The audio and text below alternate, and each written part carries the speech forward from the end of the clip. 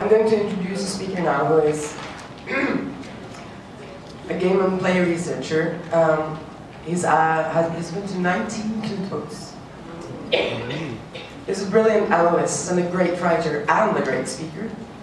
And the last time I met him, he played my Inkled father in a disruptive and incestuous relationship. yeah, he's the guy who defined Nordic LARP, you know, a few years ago. Or not. I give you Jaakko Stenros.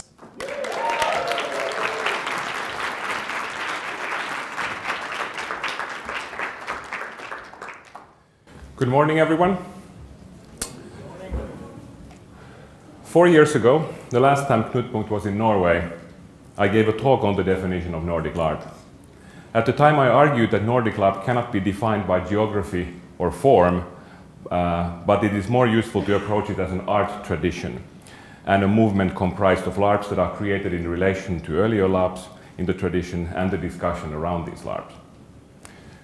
Uh, the definition I put forward has been criticized, to put it mildly. But I do still stand by it. I still think that approaching Nordic LARP as a movement is the best way to uh, attempt to grasp it. Not all LARP is art, uh, Uh, nor does it need to be, yet thinking about LARP through that lens as movements is useful. However, as I stated in 2013, the definition was not a universal one, but reflected that moment in time. The definition had an explicit best before date, and it has passed. the organizers of this Knutpunkt asked me to uh, revisit the definition in this keynote. I'm not really going to do that though. As with all interesting movements, things change, the discourse shifts, and meaning moves. The label Nordic LARP is not as useful as it was four years ago. Perhaps some of us thought that Nordic LARP was finished, the final form, so to speak. But of course that is not true. We are not done evolving. Just as Cubism stopped being the thing to do in painting at a certain point, Nordic LARP is no longer that useful as a label. We have all kinds of interesting movements happening here in the Nordics and around the world. Uh, LARP is a form of expression, ju and just as painting has had Impressionism, Cubism, Pointillism, uh, LARP has had things like Boffer LARP, Mind's Eye Theatre, and Nordic LARP. However, if an art movement lasts for more than a decade, then it is very likely dead on its feet, or, you know, popular entertainment. Indeed, Nordic LARP is not very exciting. Instead, we're excited about other things. Uh, we talk about black box LARPs, and even more specifically, Nina form. a few years ago, castle LARPs appeared, and even that tradition has crossed oceans and evolved to the point where castles are not strictly speaking necessary. there are things like uh, the Southern Way, the new Italian LARP. And then there is the new vampire LARP as well, or as it is pronounced in original Swedish, New Vampyr. Indeed, we seem to have a lot of new going around. I'm not really ready to declare Nordic LARP dead, but as a label, it is not particularly useful when thinking about the present, and certainly not when designing the future. However, as a term referring to a historical moment, one that has all but, passed, it is practical. I will not try to make sense of all of these new, new movements. Uh, it strikes me as too early to do that yet. We are currently in a state of flux. Trying to find one umbrella under which we all fit comfortably seems even futile at this moment. Even the umbrella of the word LARP seems somehow limiting. There is a renaissance of LARP going on. Interesting things are happening in relation to form and content, and especially community. I feel that we are embarking on a second boom uh, of manifestos. Uh, the first one started 18 years ago in the Nordics when we were just starting to realize that not everybody LARPed the same way as we did in that small community, and obviously our way of LARPing was the best. Now, again, people are starting to issue demands as to what LARP should be like, although those demands are more related currently to the communities of LARP, such as calling for a better consent culture uh, in game mechanics accessibility in LARPs, addressing broken stairs in the community, and so on. Also, due to the professionalization of LARP, we are talking about labor and various currencies of cred and pep, as well as the cultural capitals used to pay for such things. And then, of course, there are the traditional manifesto manifestos like the one Chaos League issued last April.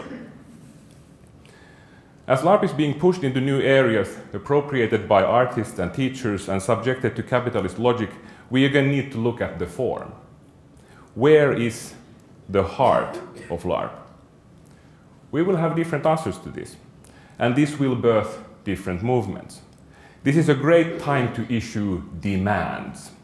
The wonderful thing about manifestos is that they can be idealistic and they can be unreasonable. So, in the spirit of midwifing the future, uh, I'm going to share my claim. Recently, there was a discussion online about whether LARPs are, by their very nature, emancipatory. Do LARPs always empower the, the participants? Do they teach you empathy, how to see things from another's point of view? While I think LARP has this potential, the form also has some built-in booby traps. I will explore one of those booby traps today. I claim that NPCs are dehumanizing.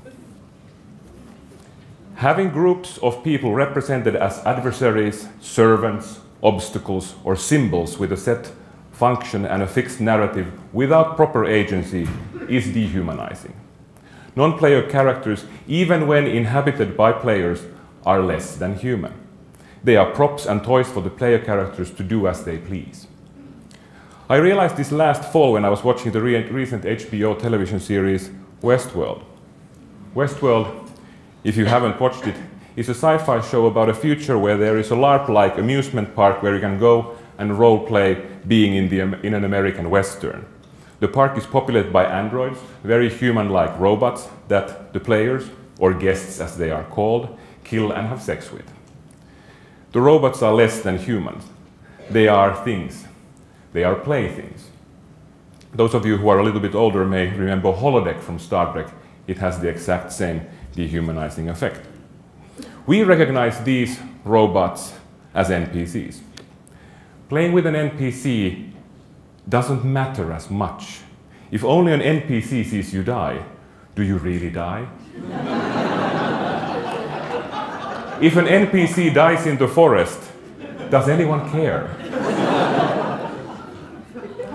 obviously, when we obviously when we have NPCs in our LARPs, they are played by people, so the limits are a little bit different, but there is a continuum. Uh, at one end, we have LARPs like In Residency and White Death, where each character is a player character with pretty much the same agency. At the other end, we have Westworld, where there is a clear distinction between players and people as props. In the middle, we have most LARPs uh, that have some instructed characters or NPCs. Sometimes they are player characters that have some task that they just need to take care of for the LARP to function. Uh, that have hierarchies usually have these kinds of things. For example, Mr. T in Just a Little Lovin' and the Brass in Monitor Celestra. Then there are the characters that have numerous tasks, tasks like the professors at College of Wizardry, uh, or, or Hamlet and Ophelia in Inside Hamlet. Then we have the LARPs that have groups of people, usually adversaries, that are more like functions than people, like the monsters in Dystopia Rising and the interrogators in KAPO. We don't have the same respect for NPCs as we have for the other characters. They are less than human. Sometimes we even expand this to the players of the NPC, for example, when we forget to design proper de-rolling and aftercare for the NPC players. Indeed, we don't think about their LARP experience. Some of them only exist to be killed, and they are there to support your experience as a player character. This is the amusement park approach to LARP.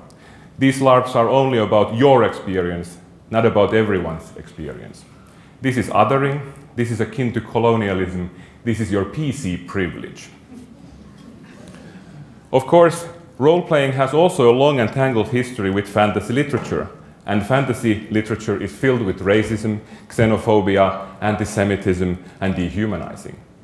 Roleplay is often about power fantasies, getting to do the things you want to do, sometimes on the expense of others. And in this political moment, uh, where Fortress Europe is leaving refugees to die, where popular fascist movements are targeting minorities, and where globalization and robotization are fueling unemployment, and then the unemployed are uh, portrayed as lazy leeches, these, there is a lot of dehumanization going on. I think it is important to be aware that to some extent we are reproducing these structures and ideas in our LARPs. And to some extent, of course, we are aware of this. Some years ago, well, maybe 20 years ago, we used to talk about the LARP democracy effect, where on Friday we have a feudal hierarchical uh, fantasy village, but by Sunday democracy has taken over and there are elections for the village council. This makes sense if everyone is recognized as fully human with full human rights. Of course, this is partly because our fictional world reflects our main world and the player's values. Since then, we have developed a taste for dystopian LARPs that have terrible hierarchies, and we, we don't get LARP democracy as often. But we have a version of it still. I call it werewolf pride. If you introduce a monstrous werewolf as player character into your LARP, you are also introducing the concept of werewolves as fully human beings.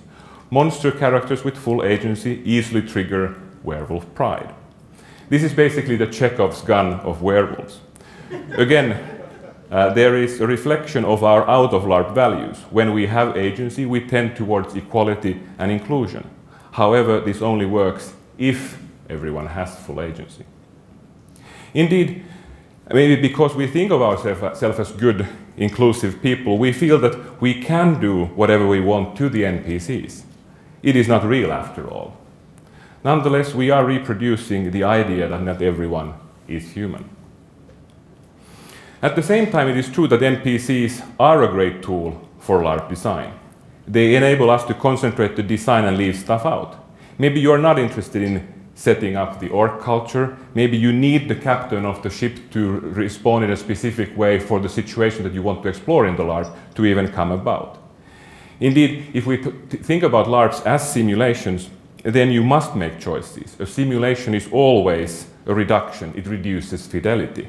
It does not and cannot reproduce the world one for one. However, when you make choices, the choices have intended and unintended consequences. And when you reduce someone to a prop, you rob them of their humanity. For example, in Halat hisar, the oppressors were dehumanized NPCs, but this was a conscious design choice. Yet it is also the one thing that Halat hisar has mostly been criticized for. To be clear, I am not saying that using NPCs in a LARP is bad, nor am I saying that designers who use NPCs are somehow evil. That would be silly. The point I'm trying to make is that forms and methods and models we use are not neutral. They have consequences we should be aware of and maybe take advantage of when we are designing. With this example claim, this claim that I'm making that NPCs are dehumanizing, I want to underline that just as Nordic LARP was not the final form, whatever it is that where we are now is not that either. We are not yet fully evolved. I hope that we will never be fully evolved. There are still interesting questions to ponder and address in LARP. And not all of the, those questions relate to community design, even though that is the hot topic today. But there are still unex unexplored areas in the form itself. To those of us, and I think there are many in this room today, who are excited about developing the form and finding new areas, I say, we are not done. The future of LARP looks exciting so design away. Thank you.